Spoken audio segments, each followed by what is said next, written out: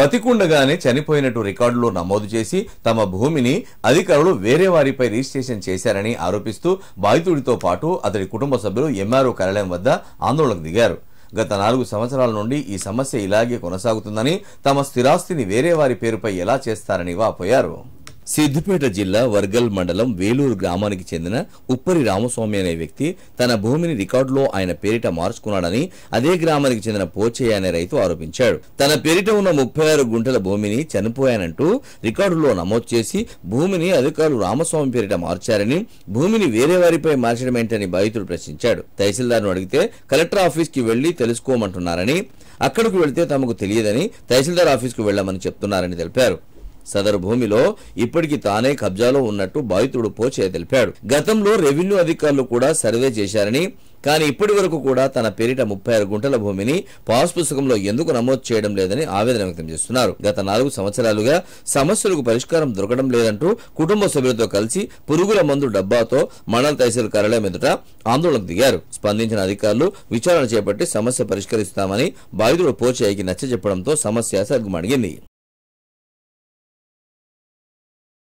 గుంటల జాగా పోయి మూడేళ్ళు అయితే తిరిగిన కొద్దీ ఇంకా అయితలేదు. ఎంఆర్ఓ పట్టించుకోవట్లేదు ఎవరు పట్టించుకోవట్లేదు.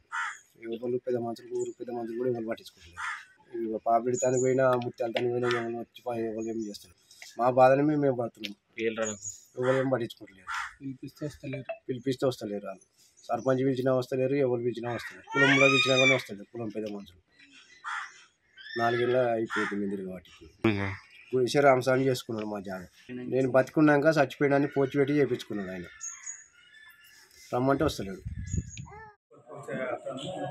రావడం జరిగింది. యాక్చువల్గా అతను కంటెన్షన్ ఏంటంటే రెండు వేల పంతొమ్మిదిలో పౌతి రాంగ్ పౌతి అయిందని చెప్పేసి అతను చెప్పడం జరిగింది. రాంగ్ పౌతి ఒక్కరి చనిపోయి ఇంకోరి పేరు మీదకి అయిందని అన్న అని తెలిపాడు.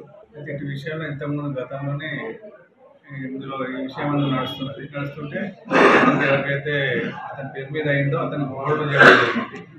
అతనికి పేరు మీద హోల్డ్ చేయడం జరిగింది. ప్రజెంట్ ఇప్పుడు ధరణి అందు ఇప్పుడు నోటీసులు ఇవ్వడానికి లేదు కనుక కలెక్టర్ గారికి ఇటు విషయమై నివేదిక సమర్పించి వాళ్ళకు ఇరువురికి నోటీసులు పంపిణీ చేసి పంపిణీ చేసి తదుపరి చర్య అందులో నోటీసెస్ ఇచ్చిన తర్వాత ఫైనల్గా ఎవరికి ఎలిజిబిలిటీ అనేది తెలిసి వాళ్ళకు న్యాయం చేస్తారు